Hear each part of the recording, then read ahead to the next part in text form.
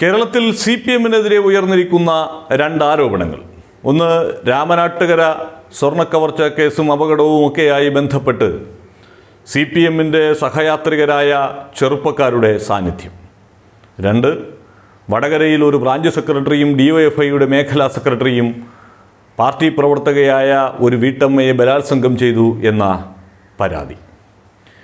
ഈ രണ്ടു കാര്യത്തിലും സി പി എമ്മിനെതിരായി കടുത്ത വിമർശനങ്ങൾ ഒരു വശത്ത് ഉയരുമ്പോഴും രണ്ടിലും ഏറ്റവും വേഗത്തിലുള്ള ഇടപെടലുകൾ സാധ്യമാക്കിയതിലൂടെ സി പി എമ്മിന് തങ്ങളുടെ മുഖം രക്ഷിക്കാൻ കഴിഞ്ഞു എന്ന യാഥാർത്ഥ്യമുണ്ട്.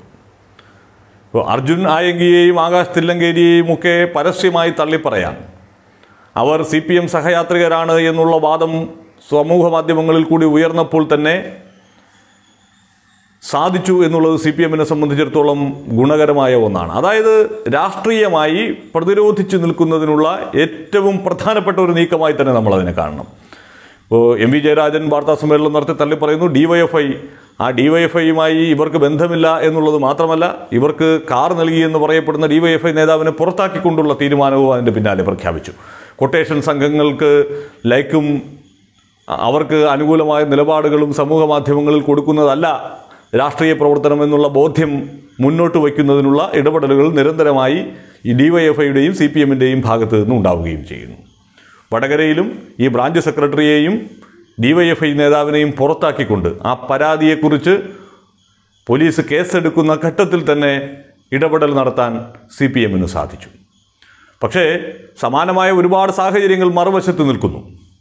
പ്രതിപക്ഷം ഇപ്പോൾ ഈ വടകരയുടെ കാര്യത്തിലായാലും രാമനാട്ടുകരയുടെ കാര്യത്തിലായാലും സമ്മർദ്ദം ഭയന്ന് അല്ലെങ്കിൽ ആരോപണങ്ങൾ ഭയന്ന് മുഖൻ രക്ഷിക്കുന്നതിന് സി പി എം നടപടിയെടുത്തിരിക്കുന്നു എന്നാണ് പറയുന്നത്. പക്ഷേ അവിടെ തിരുത്തലിന് സി പി എം തയ്യാറായല്ലോ. തെറ്റു ചെയ്തവരെ അപ്പോൾ തന്നെ മാറ്റി നിർത്തി. നേരത്തെയൊക്കെ കേട്ടിരുന്ന പല ആരോപണങ്ങളിലും അവരെയൊക്കെ സംരക്ഷിക്കാൻ ശ്രമിക്കുന്നു എന്നുള്ളതായിരുന്നു. പക്ഷേ ഇവിടെ പൊടുന്നനെ നടപടി ഉണ്ടാവുകയാണ്. ഞങ്ങൾ പാർട്ടി അന്വേഷിക്കട്ടെ എന്നൊന്നും പറയാവുന്നതിന് മുമ്പേ തന്നെ നടപടികൾ ഉണ്ടാവുകയാണ്. പക്ഷേ അങ്ങനെ മുഖം രക്ഷിക്കാൻ വേണ്ടി സി പി എം നടപടിയെടുത്തു എന്ന് ആക്ഷേപിക്കാൻ ശ്രമിക്കുന്നവർ. ഈ നടപടി എടുത്തില്ലായിരുന്നെങ്കിൽ എന്ന് പറയും സംരക്ഷിക്കാൻ ശ്രമിക്കുന്നു എന്ന് പറയും. നടപടിയെടുത്തപ്പോൾ മുഖം രക്ഷിക്കാൻ വേണ്ടി അവരെ പുറത്താക്കുന്നു എന്ന് പറയുന്നു. അതേസമയം ഈ രാമനാട്ടുകര വിഷയത്തിൽ മുസ്ലിം ലീഗുകാരും കോൺഗ്രസ്സുകാരും എസ് ഡി പി ഐക്കാരും ബി ജെ പിക്കാരും ഒക്കെ ഉണ്ട്. സി പി എമ്മുകാരെ വധിക്കുന്നതിന് വേണ്ടിയിട്ട് ഇടപെടൽ നടത്തിയിട്ടുള്ള ആളുകൾ വരെ ഈ കൊട്ടേഷൻ സംഘത്തിന്റെ ഭാഗമായിട്ടുണ്ട്. ഈ അർജുനായകയുമായിട്ടൊക്കെ ഒരുമിച്ച് പ്രവർത്തിക്കുന്നവർ. അപ്പോൾ കൊട്ടേഷൻകാർക്ക് രാഷ്ട്രീയമൊന്നുമില്ല.